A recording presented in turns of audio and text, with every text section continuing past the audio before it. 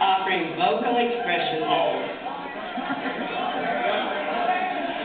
of love and desire, our own Miss Christ and Bob.